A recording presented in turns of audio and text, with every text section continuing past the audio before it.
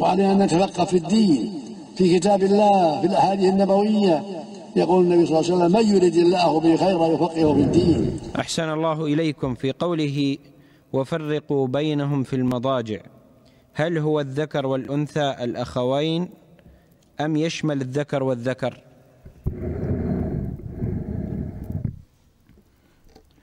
مروهم بالصلاة لسبع واضربوهم عليها لعشر. وفرقوا بينهم في المضاجع. بعض أهل العلم قال يعني بين الذكر والأنثى.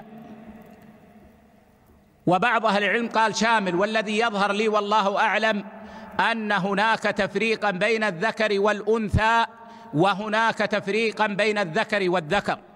أما. أما التفريق بين الذكر والأنثى فهو في المضجع والغرفة فيفرق بينهما في الغرف. فلا تنام الأنثى مع إخوانها الذكور. وأما التفريق بين الذكر والذكر فهو التفريق في الفراش. فلا ينامان في فراش واحد.